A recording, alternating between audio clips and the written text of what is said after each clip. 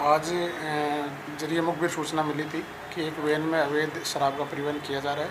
इतला पर भगवानगंज चौकी इंचार्ज मुकेश यादव और जाब्ते को कार्रवाई करने के लिए भेजा था, जिस पर एक वैन, जिसके अंदर दो लड़के सवार थे अवैध शराब की पेटियाँ भर के परिवहन करते पाए गए, जिस पर दो लड़कों को गिरफ़्तार किया गया और वैन में सोलह पेटी अवैध शराब की भरी हुई मिली, जिनको जब्त किया गया। प्रकरण दर्ज करके अनुसंधान किया जा रहा है। जो लड़के पकड़े गए हैं, उसमें एक तो विष्णु शासी है और दूसरा जितेंद्र बैरवा दोनों ही भगवानगंज के रहने वाले हैं।